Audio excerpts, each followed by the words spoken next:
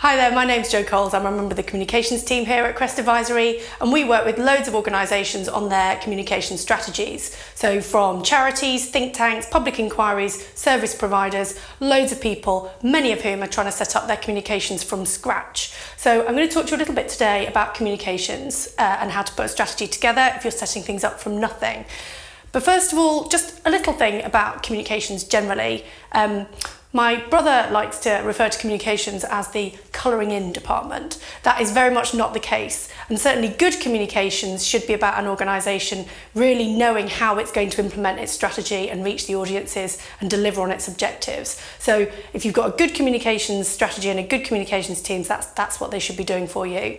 Um, so I'm just going to run through four stages of communications that you need to think about if you're pulling your strategy together. Uh, first of all, you need to think about your audiences and who it is that you're trying to reach. And most organisations will instantly think about their external audience that they're trying to reach, the, the person they might be trying to sell something to, or the person they're trying to communicate their core messages to. So they might instantly think, oh, we need to be talking to the public about this, we need to be talking to our stakeholders about this.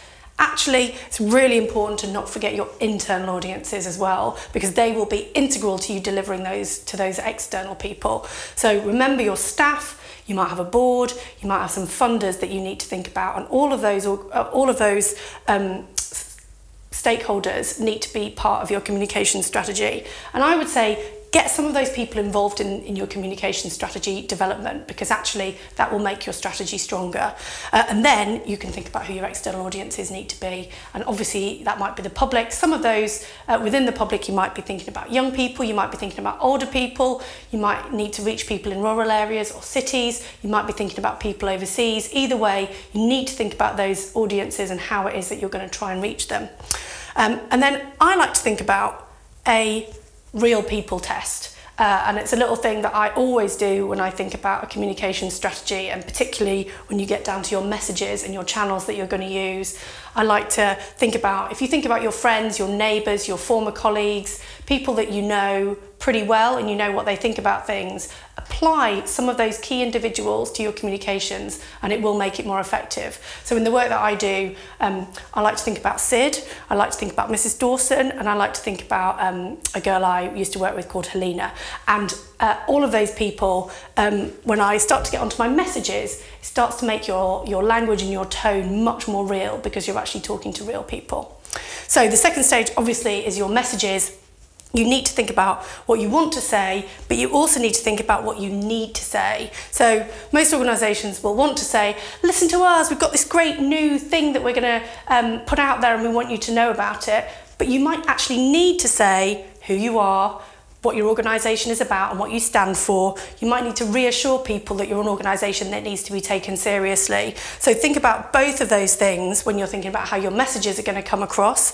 And then obviously you need to think about your language and your tone. Uh, you need to apply your real people test and what people are going to think about those words that you're using and the language that you've chosen.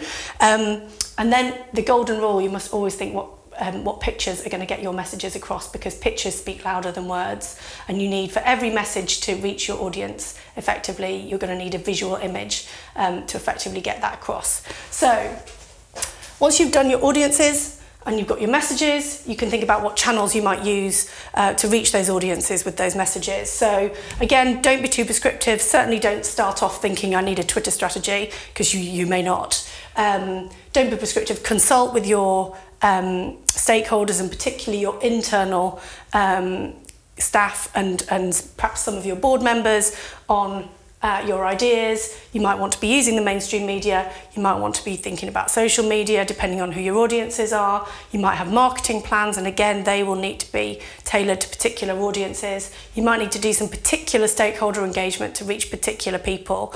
Um, and then always remember your internal channels because it's really important when you start a communications campaign or strategy that everyone is on the same page. And as my colleague Charlotte would say, uh, it's really important that the people at the top of your organisation have the same messages and are communicating the same things as the people at the bottom of your organisation. And that is why your internal channels are so important.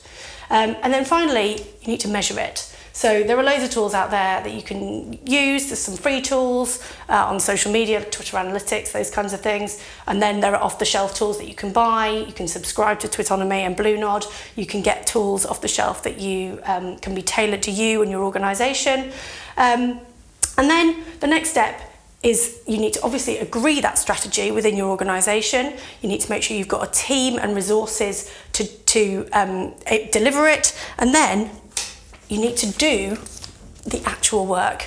So communications is uh, a process that needs to be gone through effectively. You need um, a professional team to lead that for you.